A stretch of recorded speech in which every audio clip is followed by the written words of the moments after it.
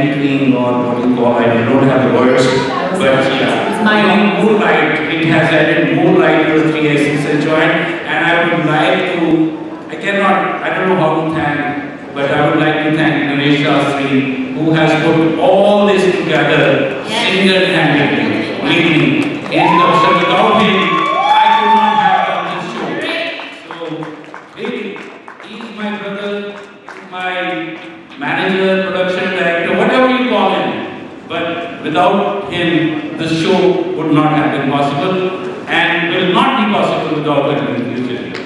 Thank you. And Thank you. Naresh, please be organized. I'm going to request with the officer, the officer, please join us uh, for the lighting of the lamp ceremony. Sir,